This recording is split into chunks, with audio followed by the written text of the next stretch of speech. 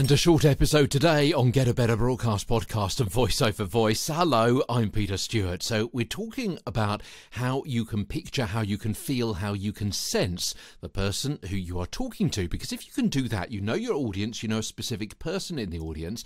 If you do that, you're more likely to be conversational with it. So when I'm podcasting, when I'm doing this, I, I, I, talk I, and, and feel like I'm having a conversation with somebody, one other person.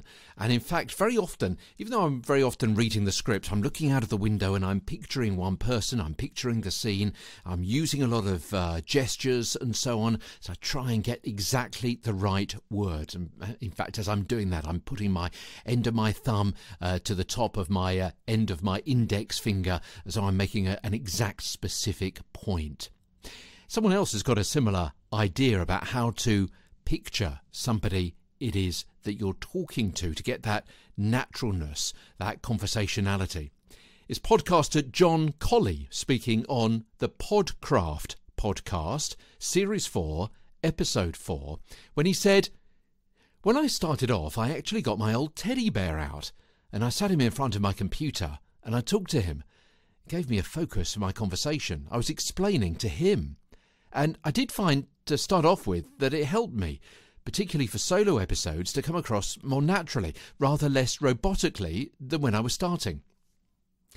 And John had a great analogy in that same podcast. He said that your voice projection and attitude for a podcast should be the same as though you're on the phone to a friend, talking one to one and straight in their ear. They're not shouting as though hands free in a car. You're just changing a telephone for a microphone. And by using the teddy bear in the studio, John created eye contact, albeit with a glass eye, another useful trick to sound natural and to sound conversational. Tomorrow in the show, intimate audio.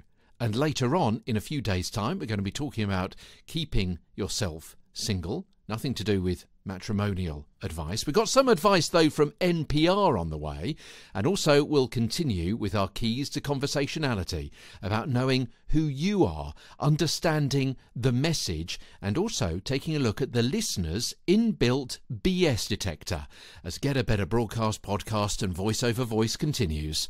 From London, I'm Peter Stewart.